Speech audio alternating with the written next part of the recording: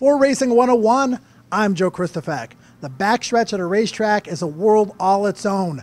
What a lot of people don't realize is some 2,000 horses live on the typical backstretch of a racetrack. And when they're happy and healthy, they race every two to four weeks. To tell us about the morning routine here in the stable area, it's trainer Terry Pompay. And Terry, it can be a little chaotic during the course of your mornings. It's chaotic, but it's great. It's really good. Uh, we start our mornings around 5 a.m. Um, I have about 22 horses in training here, and every horse has a, an exercise regime, um, whether it be jogging, galloping, or time breezes.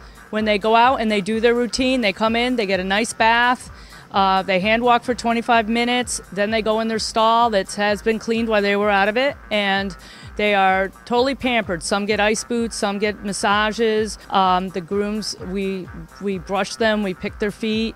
Um, they're taken care of like pampered athletes. Our motto is if we take the best care we can of them, and they look great, they're going to go out and perform at, uh, at the best they can for us.